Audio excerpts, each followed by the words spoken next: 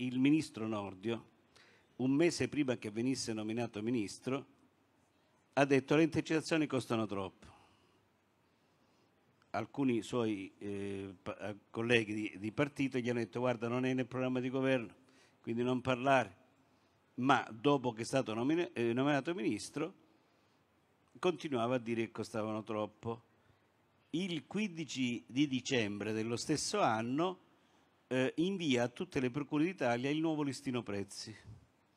Era un listino prezzi che ho fatto due anni prima a Catanzaro, eh, che poi ha utilizzato la Procura di Napoli, la Procura di, di Salerno, la Procura di Milano, altre procure.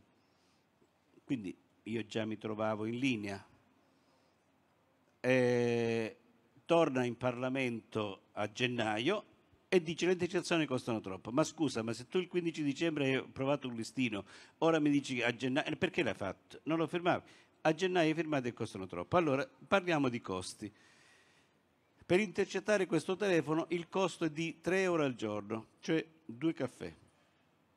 Poi eh, il costo totale dalla Procura di Siracusa a quella di Aosta è 170 milioni di euro. Ogni anno spendiamo ad esempio a, a, a Napoli 5 milioni e mezzo eh, per le intercettazioni, abbiamo, abbiamo acquisito beni per 280 milioni di euro. In Italia eh, la prima mafia che ha, usato, che ha, usato, Facebook è stata la Camorra, ehm, poi anche l'Andrangheta e la Piana di Tauro. Eh, ma questo eh, poi quando i giovani si sono spostati su TikTok, le mafie si sono spostate su TikTok. E allora perché? Perché i giovani eh, sono eh, la fascia sociale che ha meno soldi ma che consuma di più. E quindi come le aziende si, si, si spostano, fanno pubblicità soprattutto sui giovani, e le mafie inseguono i giovani, eh, soprattutto eh, giovani non strutturati, eh, di famiglie marginate, magari i genitori sono in carcere, quindi sono ragazzi che, crescono, che crescono sulla strada e allora eh, questi giovani sono facilmente preda nel sogno di diventare ricchi e potenti come loro. L'abuso d'ufficio è un favore ai raccomandati. È un favore ai raccomandati. E allora eh, parliamo di numeri perché la giustificazione per cui bisogna abolire l'abuso d'ufficio è che sono poche condanne, cioè 4.000. Poche condanne, 4.000. Poi si dice, ma guardate che il 95% degli indagati viene assolto, il 95%. È fuorviante questa affermazione, perché non è così. E vi spiego perché non è così.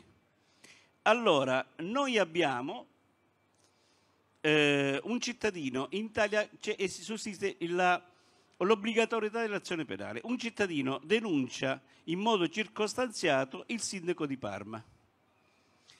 E allora eh, lo presenta in procura il procuratore per poter sapere, capire se quella, quella denuncia circostanziata è vera o meno, deve iscrivere il fascicolo a notizia di reato, eh, fare una delega alla Guardia di Finanza, la Guardia di Finanza fa un'indagine che può durare due o tre mesi. Poi viene la Guardia di Finanza, deposita l'informativa e dice guardi, eh, dottore, procuratore, non c'è nulla non è vero, il sindaco non c'entra nulla, sono tutte cose inventate. Quindi io ho iscritto il sindaco, ho fatto l'indagine, il sindaco non sa nulla di questa indagine, non l'ho disturbato, non l'ho nemmeno interrogato. E io, procuratore della Repubblica, chiedo direttamente al giudice l'archiviazione.